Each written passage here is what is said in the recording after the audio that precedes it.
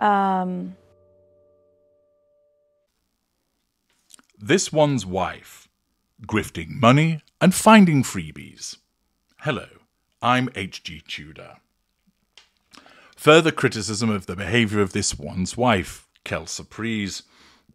They've been accused of trying to have their cake and eat it too, stepping away from the restrictive lifestyle of a working royal, nullification of threat to control, while simultaneously wanting all the prestige and perks that come with being a member of royalty. Hypocrisy.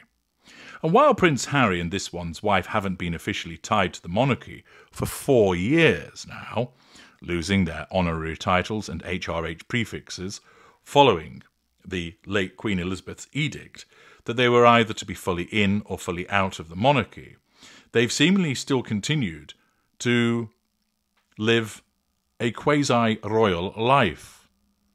Both tend to fashion themselves as the Duke and Duchess of Sussex more readily than their civilian names. This one's wife does that, of course, because it enables her to triangulate people with that name.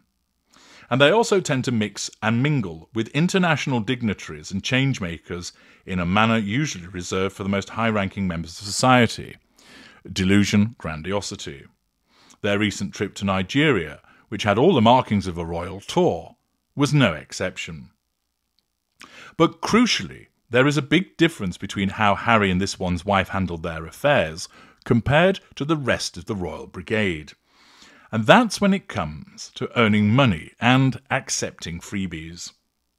No sooner had they stepped down as senior royals in 2020 than they'd signed multi million dollar deals with the likes of Netflix, Penguin Random House, and Spotify while also accepting thousands for making personal appearances across the globe. Still, it's the delicate issue of accepting gifts and freebies that has put Harry and this one's wife more at odds than ever with the expectations placed upon royal members, and has landed them in hot water again following their Nigeria tour. In just three days, the couple were lavished with gifts that included paintings, traditional clothing, personalised merchandise, traditional jewellery, and books, and took it all back home with them to Monte Shitshow.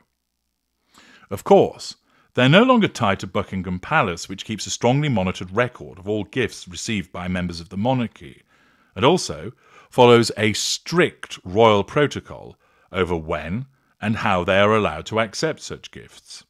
Still, the fact that Harry and this one's wife still seem to cash in on their royal credentials while simultaneously accepting freebies, hypocrisy, has not gone unnoticed, with royal commentators saying they're taking things far too far. But according to insiders, the pair don't see anything wrong with their behaviour. Well, of course not.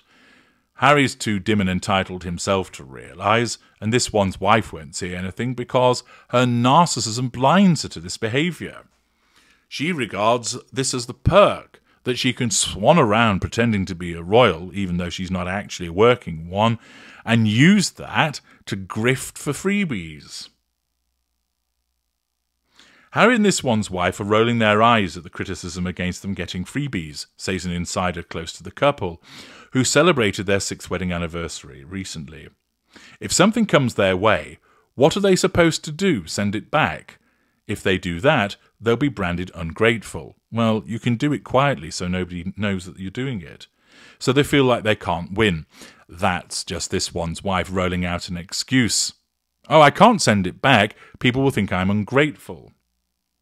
They get free clothes, furniture, beauty, and hair care treatments five star vacations. It's one thing for celebrities like the Kardashians to accept freebies, they're reality stars, so it's expected of them. But Harry and this one's wife are judged by a different standard, and everyone is watching them like hawks. Eyebrows were raised earlier this month as the gifts kept coming during the pair's visit to Nigeria.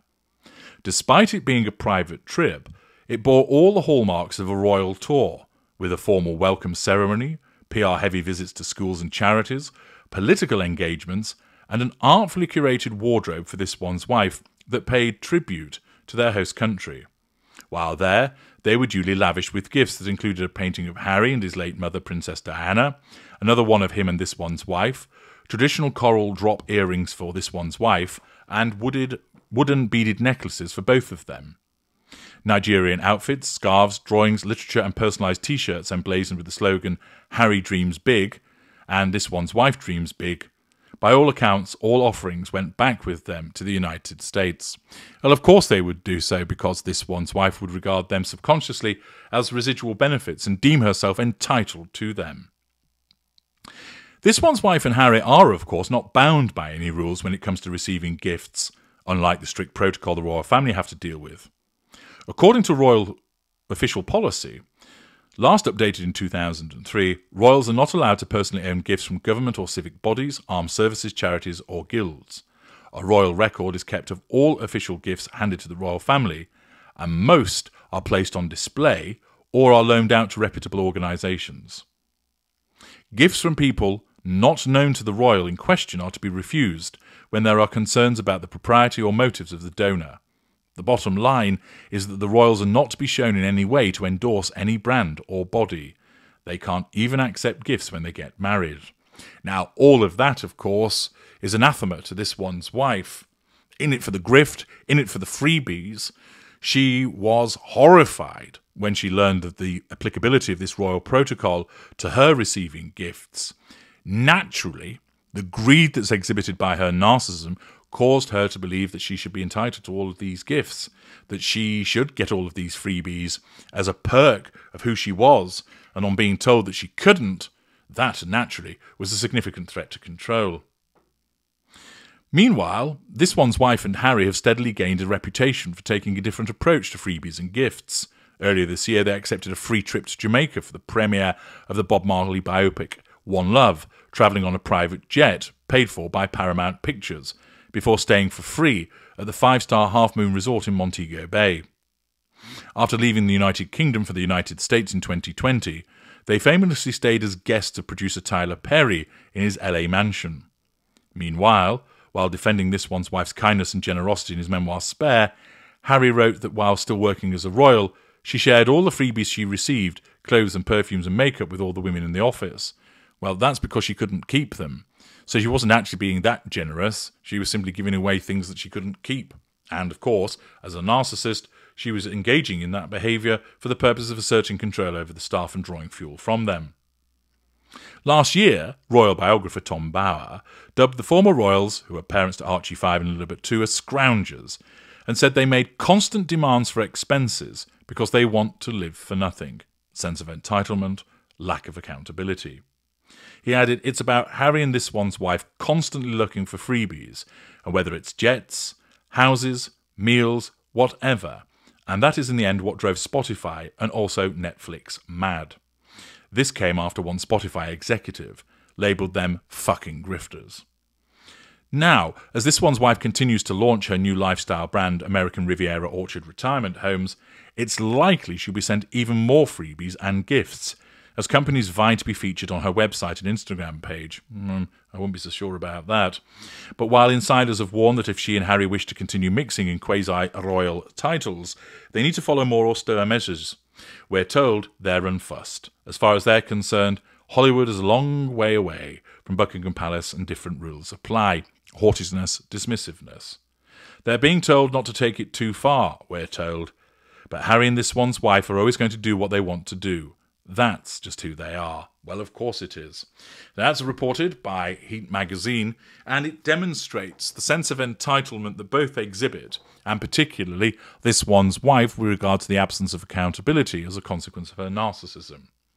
She's always grifting the money. She's always looking for those freebies. The reason being, she regards them as things that she's entitled to by virtue of who she is. She regards it as an appropriate and necessary perk. She regards it as things that she should be receiving simply for turning up, and she sees nothing wrong with receiving such gifts. Of course, once again, blinded to the other issues that arise from such acceptance and use of her quasi royal status. Her narcissism once again blinding her to such behaviours. I'm H.G. Tudor. Thank you for listening.